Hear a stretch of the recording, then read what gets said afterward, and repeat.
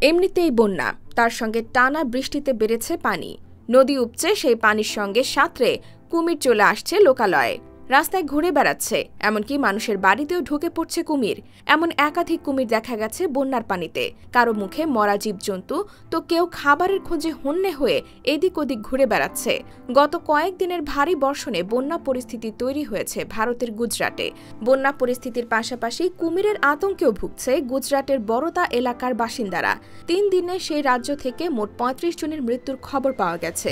রোববার থেকে শুরু হওয়া বৃষ্টির জেরে গুজরাটে বিশ্বামিত্রী সহ বেশ কয়েকটি নদী বিপদসীমার উপর দিয়ে বইছে। নদীর পানি ঢুকে পড়েছে লোকালয়। সাথে কুমিরও আসছে। ভারতীয় সংবাদ মাধ্যম আনন্দবাজার পত্রিকার এক প্রতিবেদন থেকে এ তথ্য জানা গেছে। বরোদা শহর এবং আশেপাশের লোকালয়ে কুমির ঘুরে বেড়ানোর বেশ কয়েকটি ভিডিও ইতিমধ্যেই প্রকাশ্যে এসেছে সমাজ মাধ্যমে।